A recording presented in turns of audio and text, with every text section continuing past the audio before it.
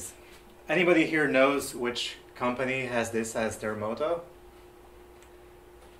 Tesla? No? Oh, sorry, sorry, not Tesla. Um, SpaceX. No, that, that would be a bad. Uh, Yeah. nobody? Uh, 37 signals. No. Uh, Facebook. It's good. Uh, Yeah, that's the official motto of Facebook. And um, yeah, when you think about it, Facebook is one of the few companies that could have uh, had adopted this motto because, for example, it would be a terrible motto for a moving company, right? And um, but these days, yeah, even Facebook, they're moving away from that that mantra, that philosophy, and they're trying to do things, you know, with all the scrutiny they're under, they're trying to do things in a more uh, sensible and careful manner. But today I, I want to go back in time a little bit and see why they adopted this philosophy in the first place. And I think it goes back to a divide between two ways of doing things, two approaches to software development. Uh, what I would call the hacker way and the engineer way.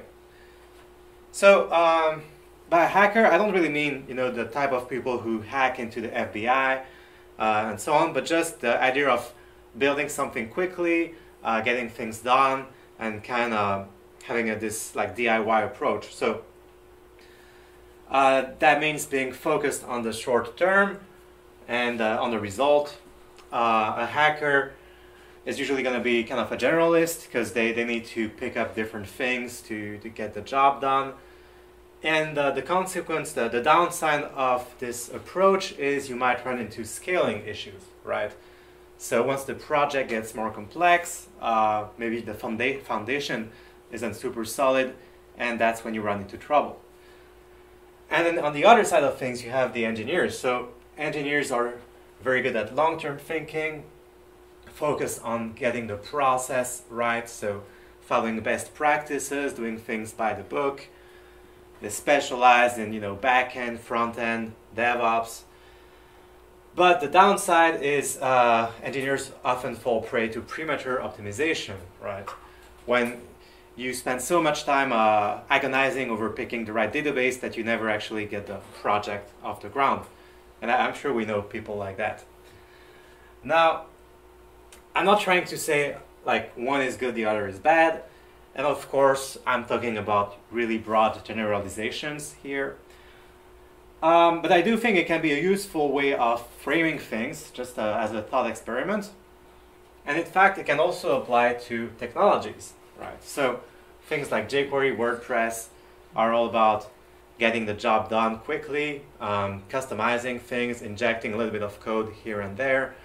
And then you have more like formal typed uh, libraries and technologies like TypeScript, Redux, GraphQL, which are more about consistency, making your code more robust and predictable, and so on. And my, my theory when it comes to, well, JavaScript is that it started off in the hacker column, but uh, over the past couple years, it's been moving to the engineer side of things. It's been uh, growing up, uh, becoming more complex, more specialized. And I think that's why we have this idea of JavaScript fatigue. So this is a post that came out uh, about three years ago, talking about how learning JavaScript was too complex, too many libraries, things changed too fast. And you know, I think things got better over time, but still kind of the same situation. In fact, this is why I started this project called uh, The State of JavaScript. It's an annual survey of the JavaScript landscape. Some of you might have seen it before or even uh, participated in. And uh, having this view, this overview of trends was already very helpful. But uh, the fact remains when you look at what it takes to build uh, an app, it's still pretty hard, right? First of all, well, you have to manage two totally different environments, server and client. And then uh, you have all these little bricks that you need to fill in. That's not even all of them, but just a, a sample. So, uh, well, let's look at this. So, for example, on the client, you have to worry about loading your data from the server. uh, which includes also things like maybe caching that data when you access it again, um, keeping it up to date, batching the requests. And uh, there's great libraries for that, such as uh, Apollo, if you're using GraphQL. And then you have to worry about state management, right, in, once the data is uh, available locally. So you could use Redux for that. You've got bundling, uh, Webpack, uh, the view layer, CSS. You'll probably use some kind of UI library. And that's just on the client, right? On the server, you need a, a way to store your data, an API layer, uh, worry about routing. So routing could go either in you know server or client, but let's say we're using Next.js for this uh, hypothetical scenario. And Next.js has its own routing thing on the server. Um, moving on, you need some kind of authentication uh, layer for user accounts, so Passport is a pretty good one. Server-side rendering, uh, and then deployment, um, of course. So all of these are, you know, already a lot of work. Um, there's a lot of things, and they don't really have that much overlap, right? If you're learning Apollo one day and then Webpack the next, there's not much uh, in common. Pretty different concerns. The thing is, though, this is like half the battle because then you have to worry about how you're gonna connect all these bricks together. Uh, so if you have your Apollo data and you want to transmit it to your React components, that's already a whole thing you need to learn. And a couple years ago, it used to be with uh, this thing called higher order components. Then it changed, and you were supposed to use render props, and now you have hooks. So every couple years, uh, the patterns change. You need to learn a new API, a new way of thinking, and that's like only one little connection. Another example on the server, if you have uh, your SQL data and you want to transmit it to your GraphQL API, where, where there's like entire companies built around solving that little connection. There's like Hasura, Prisma, uh, PostGraphile, all focused on just that little thing. So uh, yeah, on one hand, well, all these blocks, all these bricks are super powerful and super flexible, and they really let us do amazing things that weren't possible before. But on the other hand, uh, I kind of wonder if we're uh, in this situation, right? Where we are so used to the complexity that we don't really question it anymore. And uh, we don't really dare dream of something better. Now, uh, this something better, the way I like to think about it is uh, Rails for JavaScript. And what I mean by that is not Rails as in a MVC server-side framework, because Node has a couple of those, but the idea uh, of a platform that's like uh, that helps you be productive and has very strong conventions and is really um, made from the ground up to, to work seamlessly and help you move fast. And uh, I'm not the only one thinking about this issue, you know. Uh, here's, for example, Nick Schrock, the, one of the creators of GraphQL, saying that the biggest gap in the ecosystem is a Rails for GraphQL system. So, um, yeah, that's what I want to talk about today. Basically, this uh, quest for the holy rails of JavaScript. so, a little bit about me first. I live in uh, Kyoto, Japan. And uh, when I moved to Kyoto a couple years ago, well, I decided to take a break from what I was doing and kind of start fresh. So I wanted to start new projects, learn new technologies. And one of the things I learned was this fr framework called Meteor.js. Uh, and I really liked Meteor. In fact, I liked it so much that I ended up writing a book about it called Discover Meteor. And what I really appreciated about Meteor is this idea of having only one language, JavaScript, but also only one code base. So because Meteor was full stack, uh, you could easily share code for components, models, uh, share uh, APIs, or just helpers. And I found this to be a really elegant way of dealing with that complexity of managing both environments, right? Trying to think of them as as close together as possible. So uh, another thing that was really cool is Meteor just out of the box already uh, filled in a lot of these little uh, boxes, uh, and that was in 2012 when it first launched. So even back then, Meteor was really uh, forward thinking, and to this day, there's not that many other solutions that can uh, do as much as Meteor. So, you know, it had its own uh, system for uh, publishing and subscribing to data. It had a thing called MiniMongo, which was kind of an emulation of the Mongo APIs in the browser. Um, it has its, its own uh, view layer called Blaze before React, Vue, and so on. But you might be wondering, well, if Meteor is so cool, why aren't we all using it today? Well, uh, a lot of things happened. One of them is that the, the company behind Meteor, called uh, MDG, uh, is also the same company that made Apollo, uh, the, uh, a suite of tools for uh, managing GraphQL APIs.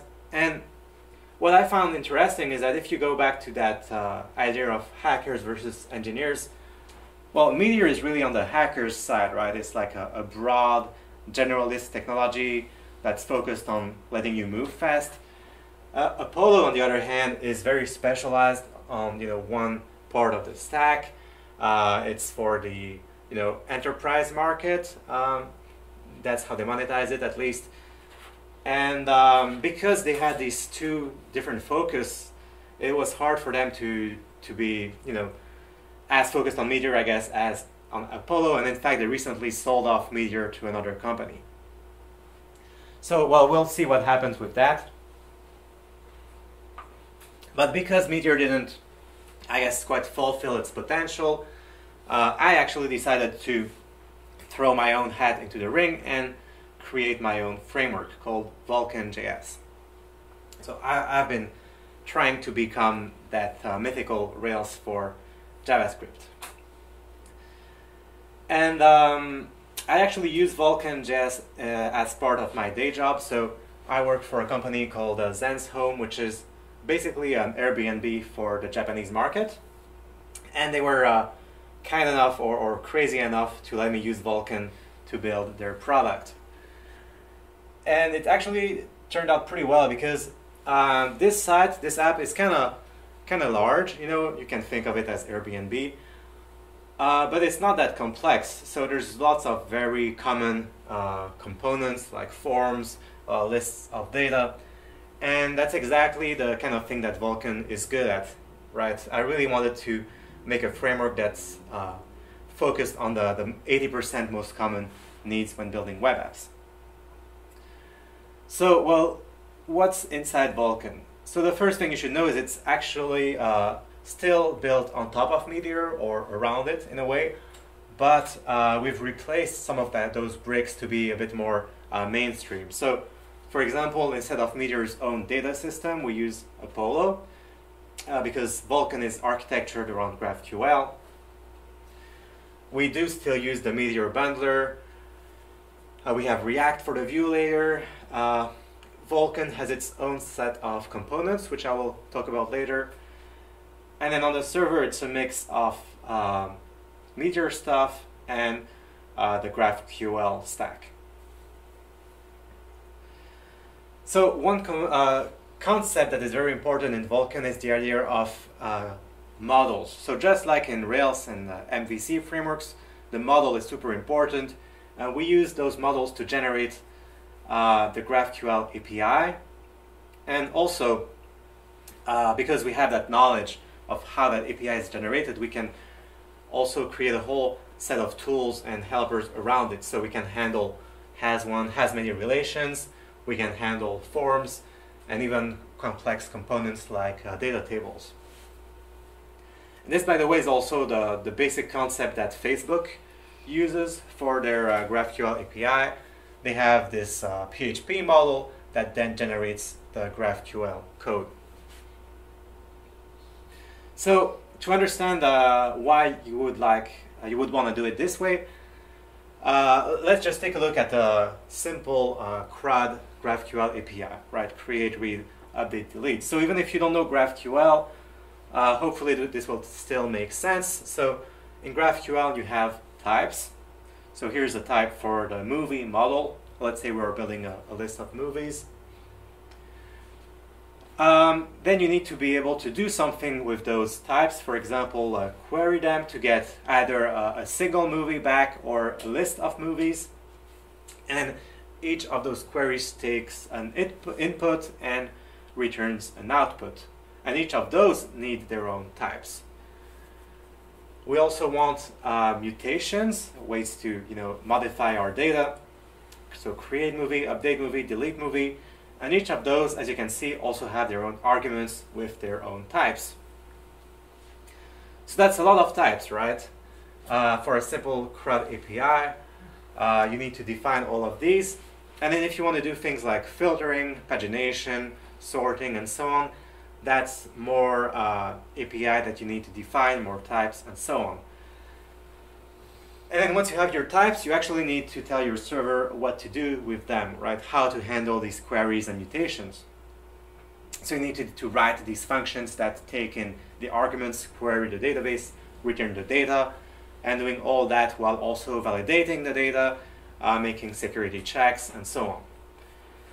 And well, in Vulcan, we automate all of that.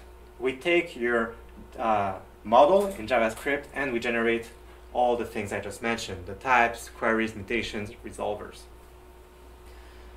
So, well, first of all, it saves you a ton of time because it's all uh, this code you don't need to write yourself. Also, uh, it's really good to, because it lets you keep everything in sync.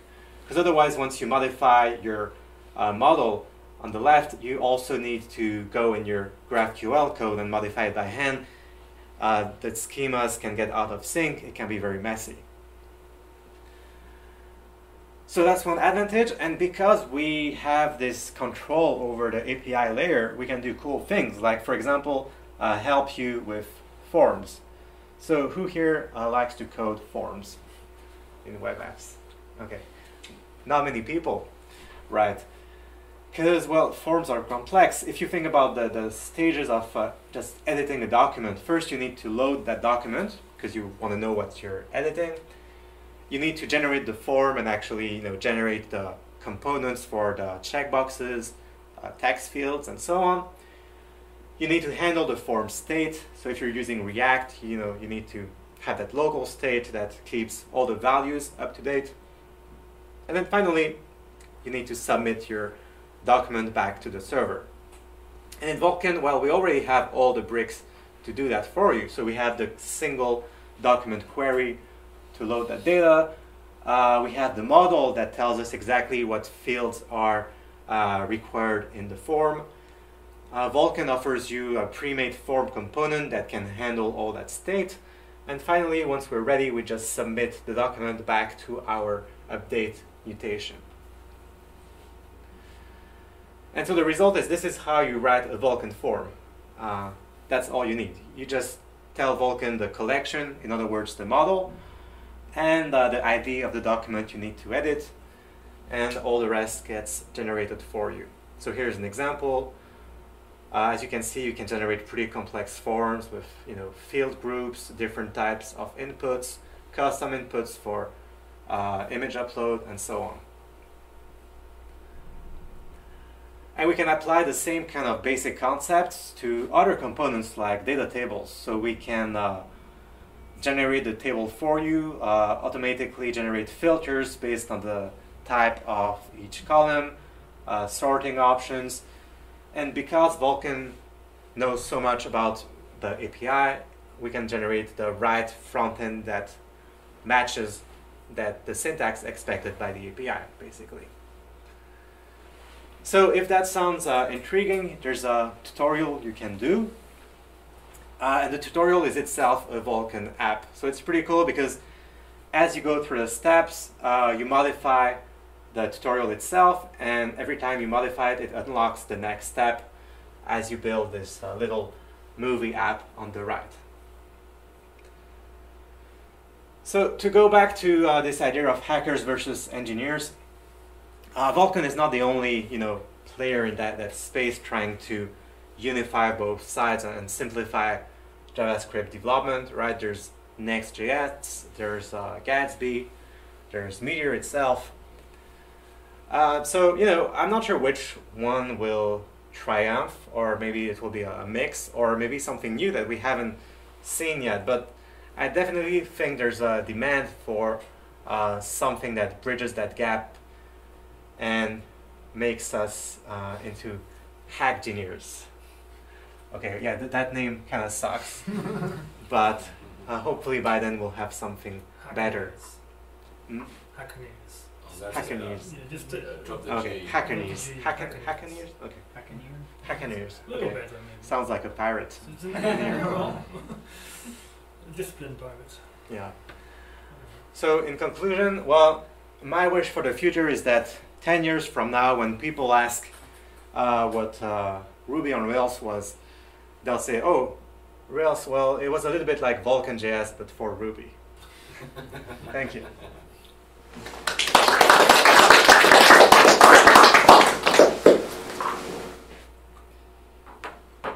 Any questions? Yeah, I guess so. Well, um, well, first, I mean, it's, uh, it's impressive and uh, ambitious. So, I mean, yeah, uh, just um, because you you you integrate so many bricks, as you call them, into a single, you know, one framework with pretty large scope, um, which of course has lots of benefits. How much would you say that involves sacrificing flexibility? Like, for example, you have this module, this brick, you just find out that the default doesn't quite fit your problem domain. How, how easy or hard is it to sort of like sort parts out? And how flexible can you still be, even if you have this full stack framework? Yeah, that's definitely the downside of this monolithic approach. Like you lose a bit of flexibility.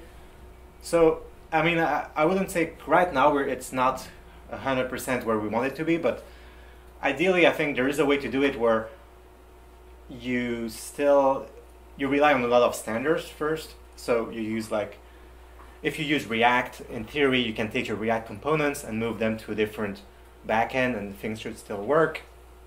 Um, if you use GraphQL, you should be able to just take your front end and, and connect to different GraphQL API, and things should still work. Uh, so we're really trying to do things in a way where it is like, you know, all generated in one block, but at the same time, done so in a way where it kind of makes sense even if you want to later move away. Like, for example, the APIs that get generated, um, they went, we went through several iterations of just changing the syntax to match what other companies in that space do uh, to be the more, more even though there's not really a standard for GraphQL APIs, but we're trying to really do something that makes sense, and hopefully one day, you know, you'll be able to, if you if you want to just switch out Vulcan for something else on the back end, but just keep your front end, uh, if you keep the same uh, API syntax. So I think it's a hard problem, but I do think there's a way to do it where at least the downside is mitigated, let's say. And comparing comparing this to Meteor, where Meteor, at least the, the classic version, that was like really one brick with its own package system, its own uh, data uh, like uh, layer system, its own view layer. That was like really impossible to switch anything out. Vulcan is a lot more, lot better in that respect, I think. Uh, silly follow-up question. Am I gonna doing this uh, WebSocket um, thing? I made a WebSocket server. For example, if you would like to use WebSocket for uh, communication between front end and back end, is that something you can easily implement with Vulcan JS? Or Um, you could, but well, I then mean, easily is a bit unfair question, maybe. But I mean, I mean, it wouldn't be harder than any other app. Like if you're building it from scratch anyway. Yeah, But if you if you have front end and back end separate, then you sort of you know what's in between is, is usually just you know left for you to Yeah. sort of band aid yourself. But Well, I mean, you can always add stuff, but it's more about well, if you're not you doing things the Vulcan way, you kind of Mhm. you still need Vulcan, and because you still need to carry the weight of all the stuff you're not using in a way. So, I don't know. You kind of have to decide on a case by case basis. Yeah. But I do think the framework really shines when you do use the GraphQL layer, the forms, the data tables, and all the pre-made components. I will definitely investigate. Uh, Cool. Sounds interesting. Uh, by the way, if you have not questions but like criticisms uh, about my delivery or the slides or anything, let me know because I want to improve. Uh, yeah. Um, you mentioned a complexity at the beginning, which you're talking about, uh, you know, the how each framework links to each other, you know, such as like GraphQL and React, for example. Um, how does Vulcan.js change these kind of aspects? Because you still rely on the same frameworks in the end, so if they start changing their own APIs, you still have to relearn the kind of thing as well. Yeah, so I'll repeat the question for the, Yeah. the recording. So, how does Vulcan.js deal with uh, the complexity? Because when the APIs change, um, you still need to, uh, to worry about that. Well, Vulcan can act kind of as a buffer in a way between the, the changing APIs and, and the developer.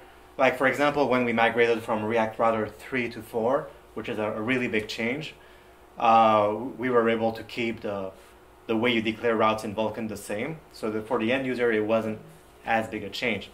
Of course, if the Vulcan API changes, then you okay, you need to worry about that.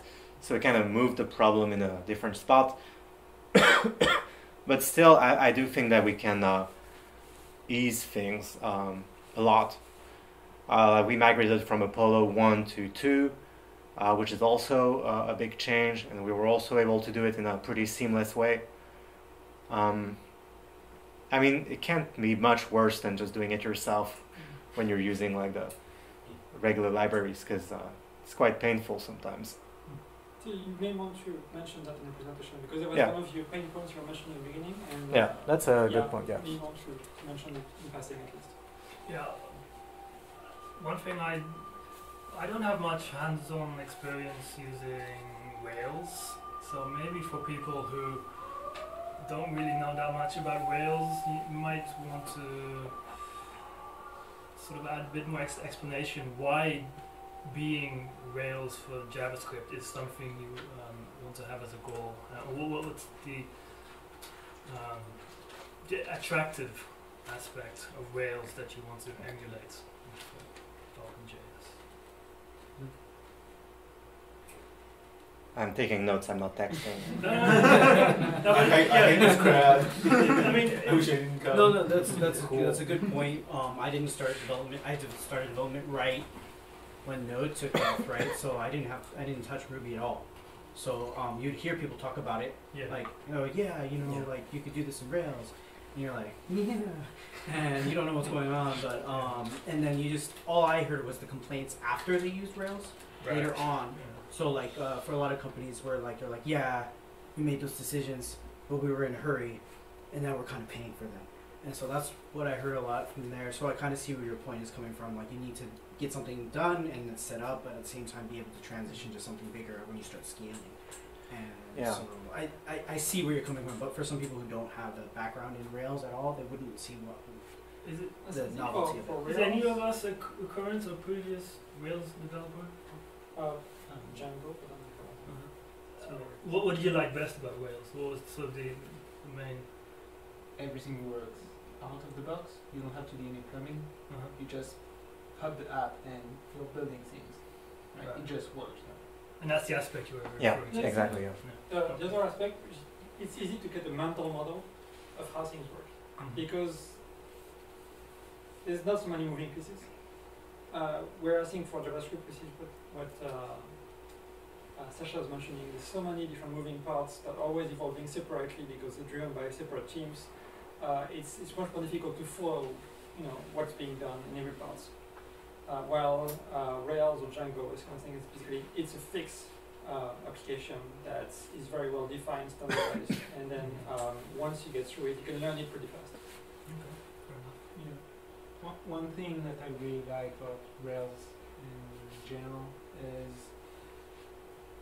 the team that is building Rails is trying to make it easy for developer to work on it and like hide away a lot, a lot of complexity that you can have with frameworks. So I don't know how Bootcamps uh, works around this, but I, from what you, s- you show us, like for forms, all this kind of stuff, it seems like it, Mm. but that's one of the good points of it.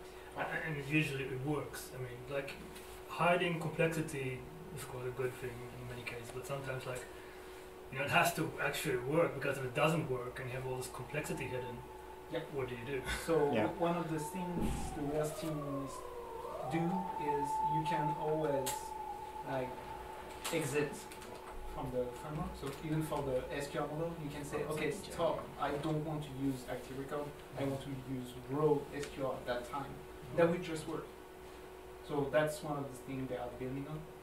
Uh, if you're interested, there is a gold talk uh, in 2018 by the main the main contributor of Mhm. Uh, DHH, uh, about how we build abstraction of those things. You Mhm. take the SQL layer as, a, Yeah. as an example. Yeah, I think well, Vulcan has the same idea where you can always u- do things your own way. I think the main difference is when you talk about client-side uh, apps, if there's things you're not using, it still adds to the bundle, and um, you're still kind of paying the cost and performance for the parts of the app you're, you're not using. Whereas in Rails, if you don't use Active Record, it doesn't make any difference for the, the user. So yeah, it's a bit different on that level. Um, It's more, for example, for the for the for the API. Um, that's what that's that was my question. How do you say, hey, I, I want extra fields to be in the model, showing to the to the front end because they are built from other fields of the models, uh, of the fields of the Mm. models, together or something else. Can you do that? Can you Yeah. define how it's like uh, end up generating the, the API, or are you, I, or must you stick to the the end query? You see what I mean? Um, no, yeah, you can. Uh, you you have a lot of control actually. Uh, so. Because sometimes I want my API to look totally different from the model. So. uh, see if I can find an example.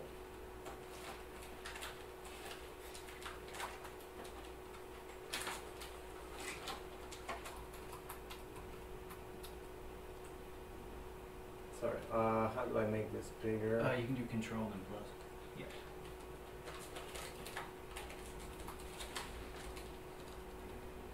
Okay, so basically you would do this using uh, this property resolve as. Um, so if you have a user ID field in your database, you can tell it to resolve as a different field in your API. Okay. And you can give it any name, uh, any type, and then just tell it how to get the related data. So here it's kind of just querying the data to get the user in your database.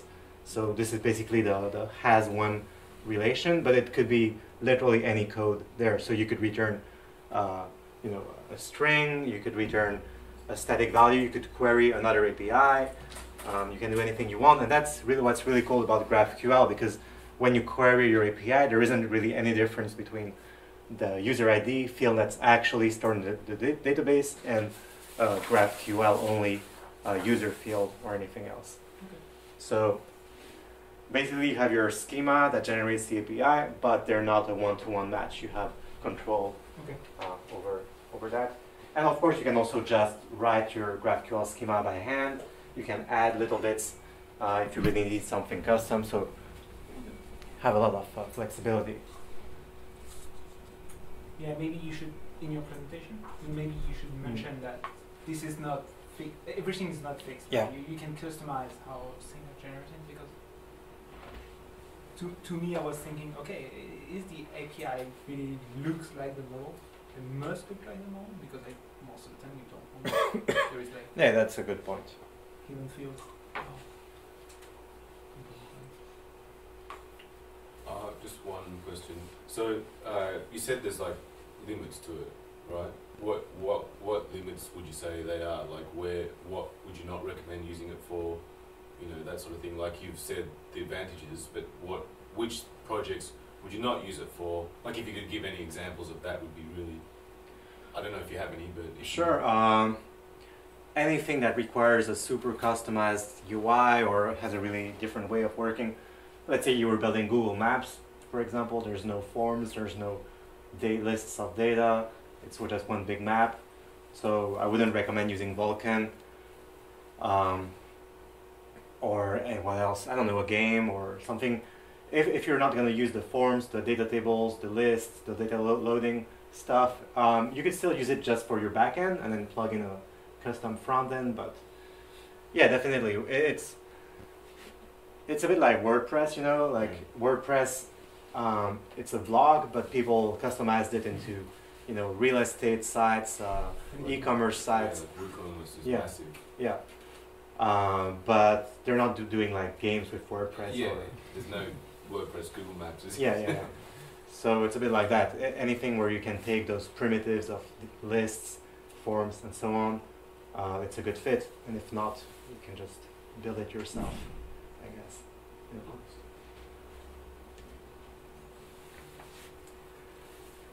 Okay, well, thanks. Uh, Any explanation for the logo? I guess it's bricks uh, oh, matching uh, together.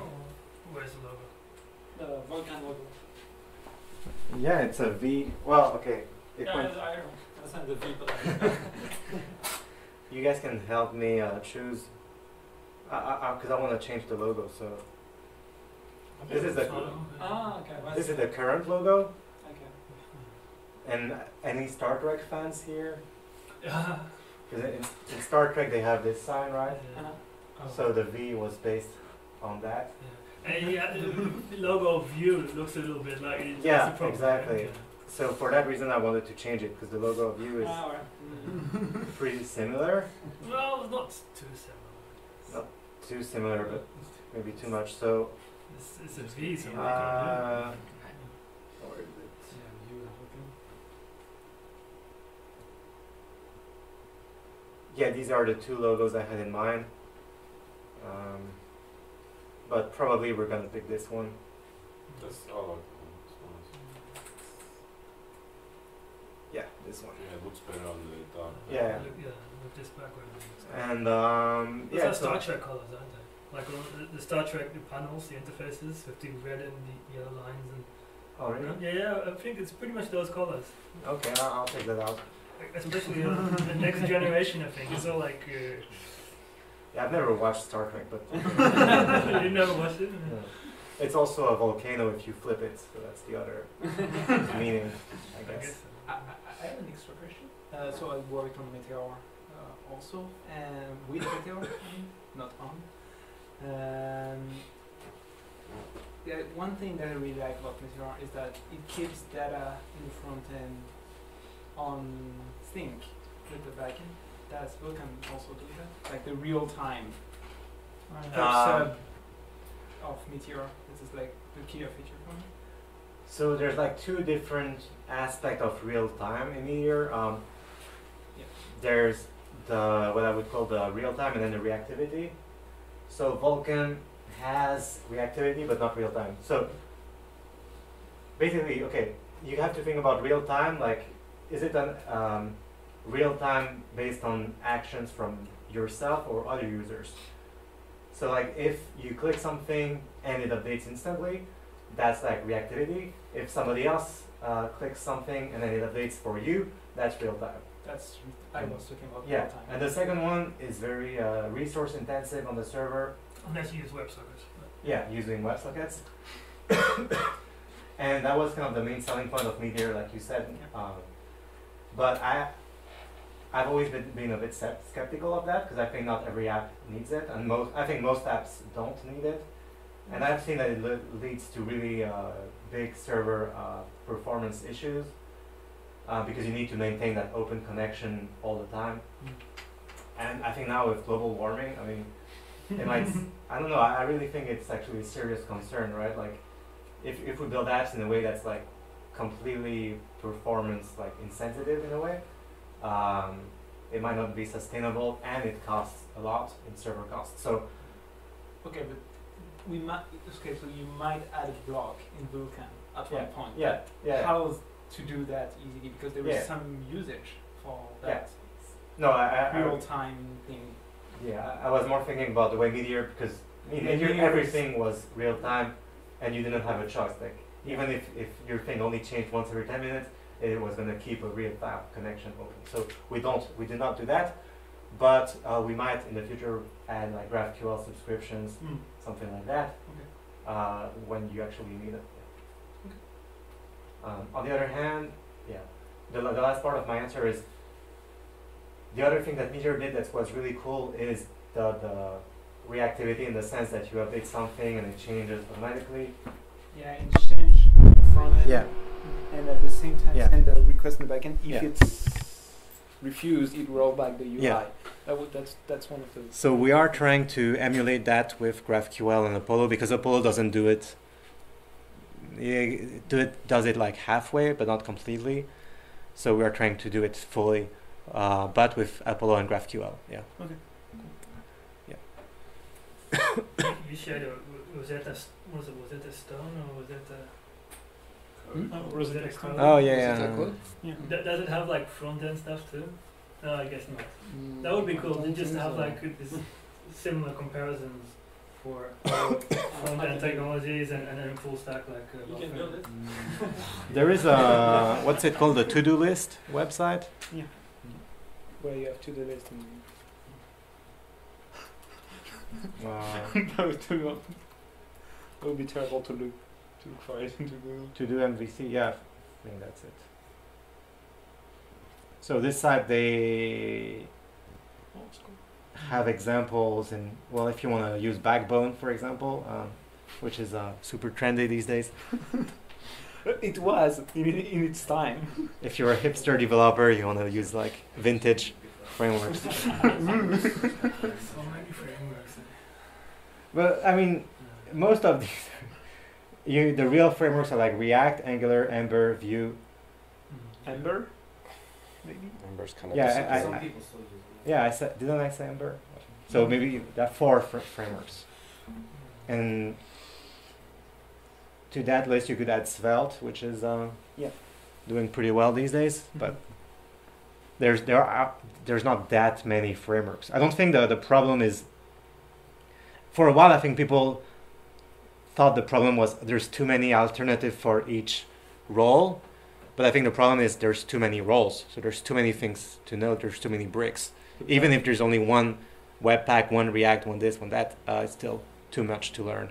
Yeah, and what kills everyone is the plumbing. Yeah, the plumbing. Yeah. Cool. Well, I'm running out of battery, so uh, I'll unplug.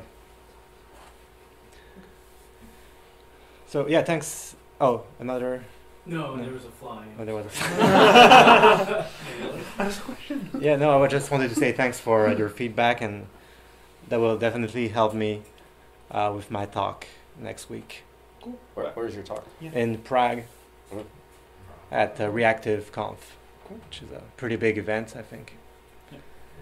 And I- I'll be speaking with people much more qualified than me, who are also trying to solve the, these same issues. So, Yeah, your talk was um, like looked really well put together. Like, yeah, there was a couple of suggestions in that, but I mean, that was if I went to a conference and I saw that talk, I'd be like, that's great.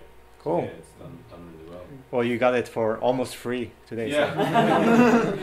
Didn't have to spend the, how much money on a trip. to I, I don't know. Yeah. And then, but you don't get to see the creator of well, whatever I don't know, ClojureScript or something. I imagine everyone there, all the attendees, like I'm the creator of this, like, mm. you know, how many hundreds of frameworks yeah. are there? yeah. um. All right, thank you, Sacha. Thank you.